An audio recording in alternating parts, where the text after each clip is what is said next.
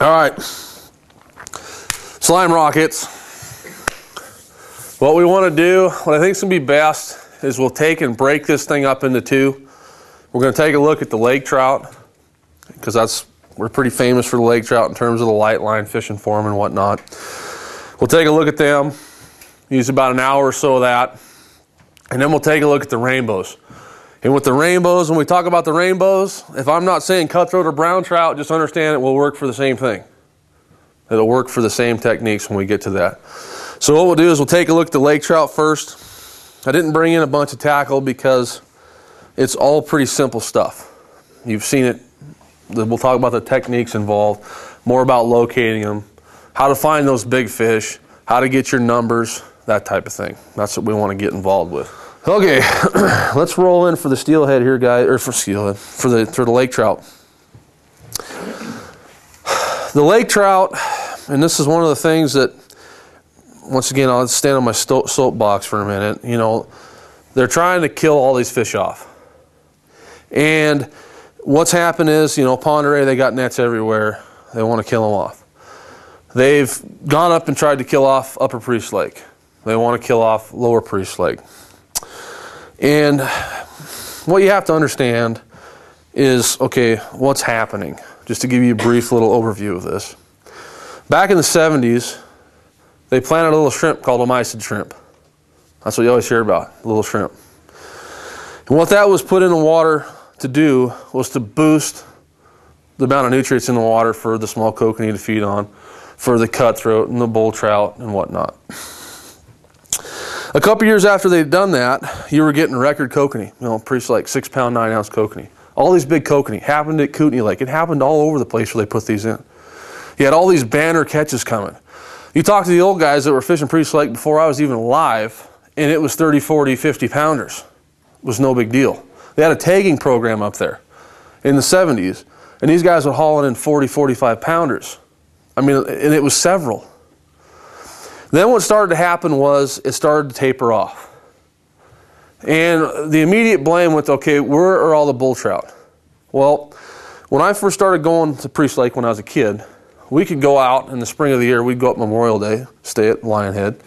You could throw out a weight with an egg hook and a couple of Pautzke's eggs, salmon eggs, and you could catch bull trout all day long off the dock. Anywhere from that big to, you know, three, four, five pounds, whatever. Well, I remember vague. I mean, when I was a kid, I can remember guys catching those, and they'd throw them right on the beach, bull trout. Throw them on the beach. It's a trash fish. It's an undesirable. You just see them. What, I remember asking my uncle, why, what is, what is, why is this? Oh, because they eat everything. Well, now we've come full circle. We want to get them back. They're not around. But what you have to understand, and I don't I hate it when guys, uh, you know, they're going out, they're offering this bounty, $15 a fish. And there's guys buying boats and everything else off this bounty. And they're doing it drop shot and they tell me I made this much money. You know, that's fine, I guess, if that's what you want to do. But once again, you got to think past tomorrow. You got to think about what's going to happen down the road. And just to tell you what has happened with the shrimp, so that you understand that when you hear this stuff going on, you can say, okay, I understand what's happened. What they didn't account for when they put the mysid shrimp in was that the mysid shrimp feed all the nutrients out of the water. They take it all out. So now what happened when your kokanee go through their cycles and your small fish go through their cycles to spawn and you have your fry, there's no little tiny planktons in there for them to eat. Those mysid shrimp multiplied, multiplied, multiplied. You got big massive clouds of them roaming around and they just wipe all the nutrients out of the water. So now what happens is there's nothing for those small fish to feed on. You say, okay, the Lakers, how do they make it? It's two problems. What's happened as a kid walking the streams in Lionhead and Indian Creek and those places, as you have logging and you have runoff, things change, and the river stream changes. The spawning habitat has virtually disappeared in those streams. What you have to realize about the lake trout and why it's so prolific is because it's a broadcast spawner. It spawns within the lake. Your kokanee will spawn within the lake, but they'll also run the streams. And the primary, a lot of times, is the streams. Priest Lake, Granite Creek, one of the main ones. Bull trout, they got to run the streams to spawn. That spawning habitat is gone. I can remember as a little kid going up to Indian Creek, where the falls are at, and seeing huge bull trout swimming around in there in the fall. You don't see it anymore because the creek has changed. They can't get there. Exactly. All of it has changed. And what the blame is in society, just like with people and with fish and everything else, hunting, is to blame the undesirable. There's no deer around because of the cougars. There's no deer around because the bald eagles are coming back and they take the fawns and they do whatever. There's no salmon and steelhead left because all the pike minnow eat them. There's no kokanee left because the lake trout ate them all. Well, you have to understand if you go down to the Snake River and the Columbia Rivers, they're paying guys $80,000 a year to catch pike minnow. Has your run gotten better? What's happened is now you've got walleye in there, you've got smallmouth bass in there like crazy. Those smallies, I can go down there and catch two, three hundred of those smallmouth. They're that big, and I get them when they're schooling up on smolts. You crank them in, and they're puking out smolts. If you launched a bounty right now to go down and wipe out the smallmouth bass, there'd be an uproar because it's a desirable fish. The pike minnow, we don't eat it, it's not sporting. Let's just use that as the reasoning skills behind why we're going to take them out. Do they eat some? Yes. You go down there and talk to the guys that are hardcore catching those pike minnows, they're using crickets and stuff. Got a buddy that does it. They're using crickets. Why aren't you using some type of spoon, some type of minnow imitation for it? The lake trout, guys, what's happened with the Lakers is they've found a way to survive. When you go catch a lake trout, everybody says, you know, they're not good eating. I'm here to tell you, at my nice trim size, they eat all day long. See this girth? This isn't created by granola.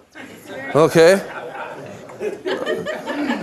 They are the best eating fish, right, Chad? They are the best eating fish, trout wise, that you're going to catch. They're like eating a sockeye salmon. Tell people that, then they'll come up and use our lake. No, because what they're going to do is you're going to do it right.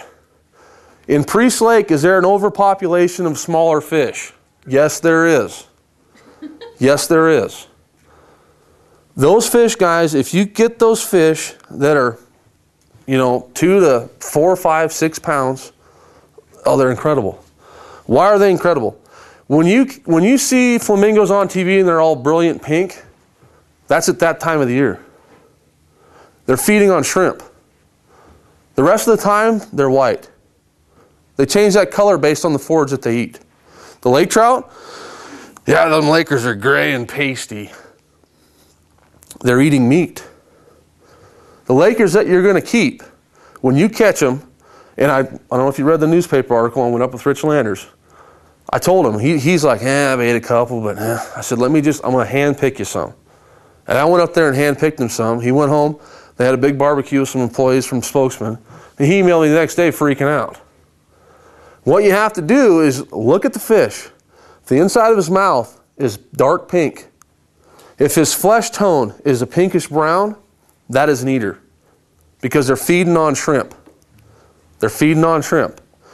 Those bigger fish that you catch in there, they're eating on pike minnow. And guys, the kokanee are coming back in that lake. And it's all hush hush. The big cutthroat are coming back in that lake. And it's all hush hush. They let Mother Nature take care of it. And it's doing its thing. The bull trout? No. Because efforts have to be put forth in the spawning streams and habitat for them to come back.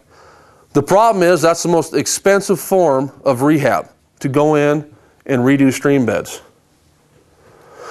What the Lakers have found a way to do is those fish, when you guys go out and they fish 180, 200 feet, that's fine. That's what we've all been taught. But what happens, and you can catch them down there, don't get me wrong, but are you going to catch them as frequently as the way we fish them? I say no. what has happened, you'll go out and catch those fish. And I grew up, guys, fishing that thing with downriggers way down the bottom, using flashers, using dodgers and flies, all the usual suspects, spoons, and you get seven to eight, nine pounder, a big fish. Maybe a 13 pounder every now and then. Guys that do it all the time, Roger, you may get more. You're living there, you're putting in a lot more time. With what we have to do is percentage fish. I got to go out, get on the fish, make them hit. I don't have days and days and days to make it happen. What we found is that through trolling, we always caught fish that were smaller. And I got to thinking, okay, why is this? Why is this? Bigger baits, this, that, and trying all this crazy stuff. When we started drop shotting, the first big fish we caught was 27 pounds up there. We'd been trolling all day long at our usual spots 150, 180 feet. Finishing up a trolling show, catching small fish. Told Dad, we're going to go over and try that shelf. Come back at about 11 o'clock. Dad drops down, 27 pounder, within like 20 minutes, in 28 feet of water, on a July day, with a surface temperature 70 degrees. Okay, was that a fluke? I don't know. Crank it in, we pull back up. The next time back through, we get a 17 pounder. And I'm seeing these huge arches, 28 to 35 feet of water. Land that fish, come back through. This is amazing. Going back through there again. We get one that's about 13, 14 pounds. Bring it up, hanging out of its mouth is a fish about that long. All I see is the tail. So I reach in, pull it out. The drop shot's just stuck right on top of its mouth. There was no way it was going to be able to eat it. It's just the beauty of the drop shot. We'll get to it. But I pull this fish out, and it's a 12 inch pike minnow. And it's half digested. The head of it's all digested, and the rest of it's brandy new. I mean, he couldn't get it all the way down. He was just kind of working it down in there. Okay? So I was thinking, okay, there's something here. So we did that show, did our thing. Mickey and I were out Oreille Lake. And around that same time frame, the pike minnow I noticed come in to spawn. And there's a lot of them, thousands of them. And if the pike minnow are so bad, why aren't they wiping those out of Oreille, right? If they're eating everything. Got me? So what I got to thinking, I'll tell you a funny story. If you ever go pike minnow fishing in a spawn like that, and your partner falls asleep, oh, Mickey's asleep, right? And I'm catching these pike minnow, and when you squeeze them, they kind of do their thing. And it's really hot out. And Mickey wakes up. What's that smell? And he's he's kind of coated. It's a good trick. It was good, wasn't it, Mick? He still works for me. I don't know why. I don't know why. There you go. But anyway, so what I what I counted that when those fish are up there in that shallow water, guys, is what they're doing, especially in the summertime like that, is they're tracking up on those shallow areas and they're following the pike minnow on and they're dropping back down. They can't stay up there.